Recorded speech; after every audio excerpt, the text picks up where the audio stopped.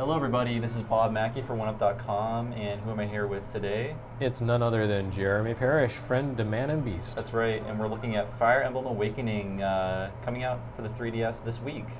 this week, really? this Tuesday or Wednesday? My goodness. To be uh, specific, is it Tuesday? Something like that. Okay. I don't know what days are. So yeah, Jeremy, this is the 11th game, uh, 11th main game, I should say, in the Fire Emblem. I thought it was the 14th. Okay. Uh, anyway. 11th main game. Some of those are remakes. Oh, okay. Yeah. Then there's like Fire Emblem Gaiden Yeah. and the Shadow Dragon. And one of those didn't come out here, but So enough forth. about that. So, what can you tell us is different about this game compared to other Fire Emblems? Or maybe Boy, golly, I don't really know because I'm uh, sort of new to the whole Fire Emblem thing. And uh, this is honestly the first real Fire Emblem experience I've had. But so, what's kept you away? Um, the fact that Nintendo didn't publish the games back in the day, so I don't have any nostalgia for them. oh, I Unlike, see. unlike say Mario or Kirby or something. But what about Smash Brothers? Yeah, Smash Brothers. um, I know. so no, there hasn't really been any reason that I haven't played Fire Emblem aside from the fact that uh, I just haven't. It hasn't fit into my schedule. But here we go with a portable game. These are very demanding games. Is the problem. Um, anyway, let me let me tell you about the the, the new edition for this game. I, I do know that uh, there is a new feature specifically for Fire Emblem Awakening because it's on 3DS. It has a heavily uh, heavy dose of street passing and spot passing. And you see that here in the world map. Uh, there's Great. downloadable content here in the, um, whatever this is called, the Outrealm Gate. This is where you can download content. Uh, it'll be released on a weekly basis. I don't know what the pricing scheme is going to be in the US, but in Japan it was 90, between 99 cents and like $4 per download. Hmm. I think the total cost ended up being like 70 bucks in addition to the cost of the game. It's pretty Ouch. hefty, but there's a lot of like significant content. It's not just, hey, you downloaded a new skin for Marth or whatever. It's, you know, it's more more meaty than that. Okay. Um, also, in addition, little side chapters like this one, the paralogues open up. Um, those are kind of branches off the main story. And then you have these little dudes you can encounter as random battles on the world map. Now, some of these, like the guys that are here, because for whatever reason this game hasn't street passed properly, um, these guys are just NPCs from the game. But you can also meet uh, other character or other players, their avatars and their parties on the world map. You can choose to pay to recruit them uh, and get their their own avatar, who's basically the equivalent of your main character, or you can fight them, and if you defeat them, then you can recruit them for free. So, can you grind in this game? Because in previous games you couldn't, and that was part of the challenge. like- there is a bit of grinding Okay. potential here because you can fight these guys, and let's let's jump into this battle and fight these undead dudes. Speaking of battles, is this the first game? I think it is that they actually let you turn off permadeath. Maybe I'm wrong. Yeah. Maybe a previous uh, you one can did, you can turn off permadeath, and, And of course you know all the the little features here, uh, like party conversations. We're borrowing Michael Zipkin's game, and his protagonist is Miria because he's a Robotech nerd, and uh, she and Chrom, who's technically the protagonist of the game, even though you don't play as him, uh, looks like they can become best buds, and do these little uh, anime style. Oh my goodness, it's a girl! I'm so fumble footed around her. romance. It's seriously like, oh yeah, here's the bath scene. Oh boy. Yep. Mandatory. Someone's, oh, I bet she's gonna scream Kia. Mm-hmm. Mm-hmm. This is less salacious than they Oh. were letting on. Oh. No, no Kia, but she's blushing. My goodness. Ah, there we go. Yeah. Seriously, did anime, you, see, did you play this quota. yet or what? Uh, I did... haven't done the scene Okay. exactly, But I mean, you can't predict it anyways. this this game is super anime. I mean, even though it has a more like I don't know, less cartoony style, the character uh, character dialogue is all like super. You know, you have your Tsundere character and Oh, your Dere right. Dere character it- and all it- that crap. It can't be as bad as Valkyria Chronicles. Sorry, Valkyria Chronicles 2. That, Uh, that sort of had the same approach. Like, let's take every well, stereotype. they're not they're not fighting in high school. So anyway, let's just cruise on through this. Yeah, blah blah. I saw the word naked in there. That's important. T for teen. Now they're gonna have sex. Ooh, support That's what A means. So what A does that sex. do it's, in it's battle? third base. Well, Start with first base, second base, third base, and This then you get up is, to S, which uh, is sex. Wow. Uh, I just made that up, but I don't think it's totally wrong because in this game you do have a general generational system, Yeah. and your protagonist can marry another character if your support level gets high enough, and then the kids that you have, you can recruit as paralogue characters later down the road. That seems like this game would have to take place over several decades, unless you have baby units that sort of crawl out on the front I don't know. I don't know how they're going to do it. Like you know, different games handle it different ways. So you have stuff like uh, Phantasy Star Three, which actually do take place over the course of generations. Right. Um, but then you have stuff like Dragon Quest V, where your character doesn't actually age, even though you have kids because of uh, plot contrivances. So these guys all look kind of nasty compared to Michael's party. So I'm probably not going to win this battle. Uh, as always, you're outnumbered, outmatched. You've got mages. You've got I don't even know what these dudes are. Bagheads. Blighted claws. Yeah, it's like an evil scarecrow. So, like in other Fire Emblem games, this one has a paper, scissors, rock sort of does. system, both for magic and for attacks. S-A-L, swords, axe, lance. So Do you find that they? I'm probably not going to do very well, but uh, let's wait. Yay, I got a fancy thing. I don't know what that is. I'm going to team up. I'm going to move the axe wielding dude over to support the lance wielding, or no, the sword wielding. So, do they act as guy. one unit when you do that, or they just? Uh, yes, uh, you only get one turn for those characters, but they support each other and become much stronger as a result. Um, they have higher evasion, higher attack. Um, they're they're likely to defend one another and completely negate enemy damage. Hmm. So there's a lot of value in in doing these uh, collaborative things.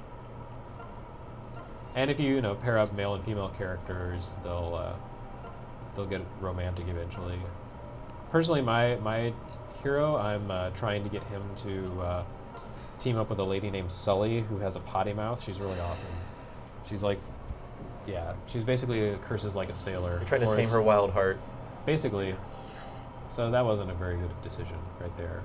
This guy is a tank, but he's very vulnerable to magic. So I think he's gonna die. I'll be nice and I. Oh, yeah, yeah, he's permanently dead. That's it.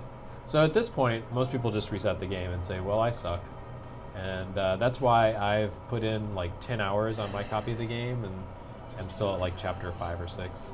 You Because just wanna make sure I everyone- resetting. Right. I actually have restarted my game uh, without permadeath, but on hard mode, and it turns out that's even more difficult than with permadeath on normal mode. Jeez. This game is not one that's meant for. Uh, it's not meant to be beaten easily. I mean, look at these guys. There is no way. There's no way my party's gonna overcome. We will. We shall not overcome. It is good to see a Nintendo published title be this, I guess, hardcore, for lack of Well, a better that's always that's always been Fire Emblem's thing. Right, but the, the fact that they're willing to support it in America still, even though I don't I don't know how, how well the other games have performed in the past, but it seems to have a pretty faithful audience. Right. So you can you can get a, an, ex- an idea of how you're going to perform in battle with this screen right here, um, and it looks like Chrom will totally destroy this Risen, but the Risen might counterattack him. You see, he the Risen has 30 hit points. He's the enemy, Mhm. and Chrom will reduce him to zero. But in the process, he'll counterattack and probably reduce Chrom to 12 hit points from 23, which means that one more attack and Chrom's out of business. So that'd be bad. But let's see what happens. What the heck? It's not my game. So what if I spoil it forever for Michael? Okay, yeah. So you get one attack, and there's a counterattack that hits hard, and then because Chrom's speed is so much higher than the mage's, he gets a second attack after the, the counter. Now, Nice. if the bow the bow wielder there were worth a damn, he would have protected Chrom from that counterattack, but he sucks, so he didn't. Uh, but of course, you can have your healer top off his health, but she's probably going to die now. I was gonna say yeah. well, even if I block the enemy's route, this dude has a bow, which means he can shoot two panels, and uh, there's also a bunch of mages. They have a two-panel range, and they have really powerful magic for their levels. Uh, so I don't think this is going to go well. But what the hell? Let's let's give it a try. Um, so this dude is in a fort, which means he's going to have extra defense. I probably can't do much to stop him. So we'll go over for this guy. And oh, look at that! Look at that! I'll knock him down to one hit point, which means he'll still be active in the field. Which means on the next turn he'll go right for Lon'qu and uh, knock him down from his six hit points to one, or actually probably kill him. So this is a really bad tactical decision. If you're playing at home, I Don't- recommend you do not do this. It's such a bad idea. So the anti-strategy guide. It is. But I mean, you know, this is an actual challenging strategy game. It is not, let's be honest, it's not Final Fantasy Tactics where you could kind of just, you know, build up your team and cheese the game and win. This is not a game you can easily manipulate and uh, just blow through on a whim by, by uh, you know, by exploiting certain things. Yeah. You really have to think about how each battle goes. It's more like XCOM in that sense. It is. It's very. I mean, I, I feel like there's a huge spiritual similarity Oh, yeah. between XCOM and Fire Emblem, and uh, I'm I'm hoping that you know this series hasn't really gotten much traction in the U.S., but I'm hoping that everyone who has played XCOM recently and said that game is so good, wow, that's creepy, uh, will consider Fire Emblem, even though it's a portable game. On Right, and it's full of system. anime. Uh, it's so full of anime. Yeah. Anyway, now you can watch probably my entire party die in a single turn of enemy attacks. They should have like a parental guidance warning on it. This uh, this video. Yeah, I mean, really, death. this this team that I took on was way over the uh, the levels of, of Michael's party. So um, I'm going to be nice and not save the file afterwards. But this is this is going to be a game over. It's just, It's a total bloodbath. It is. It's terrible. But I mean, you know, that's that's what you're up against when you play Fire Emblem. You're up against probably dying pathetically. Yeah. Yeah. Yeah. Oh, wow. He shrugged it off, kind of, but not this one. Yeah, I've never faced a party of mages quite like this, but my God, it's just. I wouldn't recommend it. this kind of does um, bring to mind, I don't know, playing this game, especially with permadeath death on, uh, makes me aware and a little frustrated of a big problem with this genre, which is that there's this kind of disconnect between how you have to behave and how the enemy behaves because the enemy can just treat his characters like fodder. It doesn't That's matter. That's true. Yeah. Like there will always be a next battle for you, but you have to be really cautious and can't lose anyone. But you know the enemy behaves recklessly. It uses combat tactics you never would. It doesn't care if it sends a dude out to take out your healer, and that guy is then immediately killed by everyone surrounding him. So I don't know. It's it's a little bit frustrating because it when you face the computer, you don't play the way that you would if you were fighting another human. You know, Right. You're forced to have empathy, and your your decisions matter over more than one battle. Well, I mean, there's this continuity between your, your party. Right. Like you have to maintain your party's integrity through the entire battle, through the entire game. And the computer doesn't have to worry about that. So it has this huge advantage in addition to numbers. And all you have is your brain, which admittedly is not that good in my case.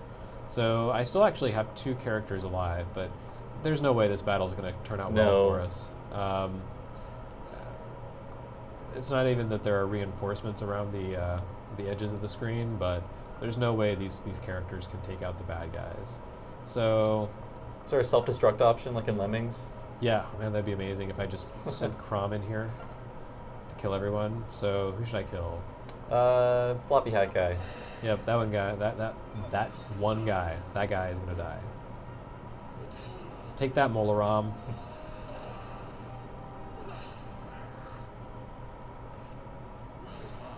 Anyway, so that's kind of a general overview of Fire Emblem and a good example of how not to play the game. Uh, do you have any other questions? Not that I'm an Uh, expert or anything, but I mean, it just seems like this is uh, one of the bigger RPGs of this year for the 3DS.